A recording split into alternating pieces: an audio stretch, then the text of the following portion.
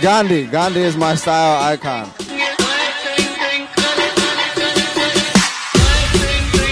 Hmm. I'm the, I'm more inspired by like films, like old sci-fi and horror films, and different artists. Like I love Lady Gaga, of course, and David Bowie. So that's kind of who I'm inspired by.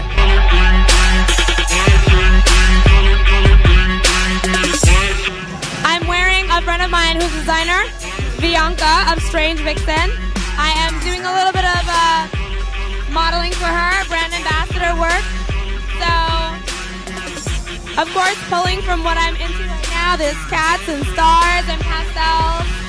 I'm in this color range right now, can. I think style is more personal. I think fashion is more general, and it, it could be anything, but I feel like style is more like of how you feel and what you want to do.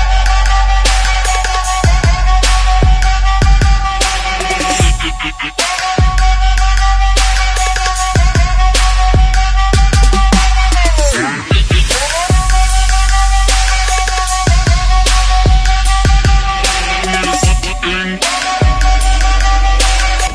style is versatile and it all depends on how I feel. I dress how I feel basically. You know? Yeah, um I like I like my style to have like a personality. Like a, it's cool, calm, cool, casual, regular casual.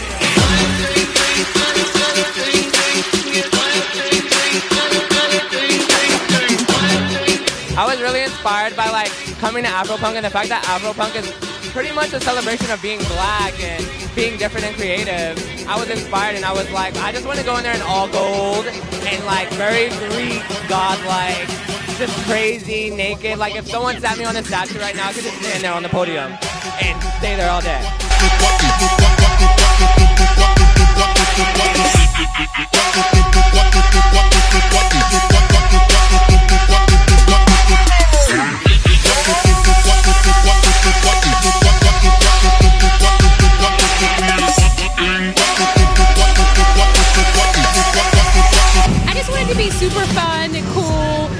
Comfortable, something easy.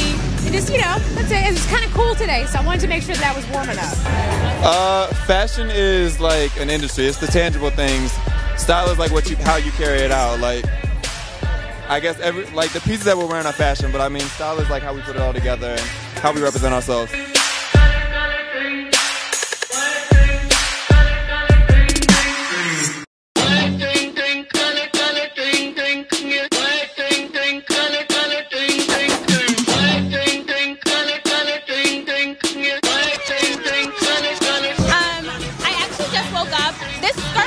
Especially made for me by a Brooklyn designer, Malcolm's Closet. And I don't know, it's fun. It has like the fun print underneath, but it's also something like extra because of the plastic. So I was just like, let me work around that. There wasn't much thought that went into my outfit today, honestly. Uh, my style icon would have to be Erykah Badu.